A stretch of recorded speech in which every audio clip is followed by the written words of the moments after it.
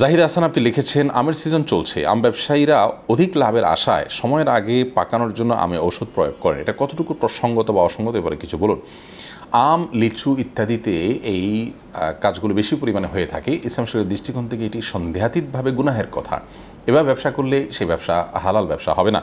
ব্যবসায়ীরা যখন ব্যবসার ক্ষেত্রে ব্যাপকভাবে গোটা সমাজ জুড়ে অসাধুতা এবং অসত্য অবলম্বন করে, সেখানে সেই সমাজে আল্লাহ তালার তরফ থেকে দুর্ভিক্ষ নেমে আসে। আল্লাহ মাফ করুক, আর্থিক এবং খাদ্য সংকটের একটা আপনার শঙ্কার মধ্য দিয়ে আমরা দিন পার করছি।